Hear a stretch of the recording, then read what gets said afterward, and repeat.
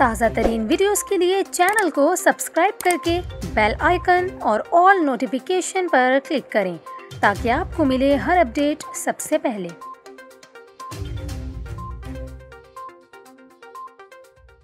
और अभी आपको बताएँ, रोहड़ी के करीब एक और ट्रेन बड़े हादसे से बाल बाल बच गई। सखर में रोहड़ी के करीब जकरिया एक्सप्रेस की दो बोगियाँ पटरी से उतर गई। रेलवे जराये का यह कहना है कि ट्रेन की रफ्तार कम होने की वजह से बोगियाँ उलटने से महफूज रहीं। मुतासरा जकरिया एक्सप्रेस कराची से लाहौर जा रही थी जराये के मुताबिक।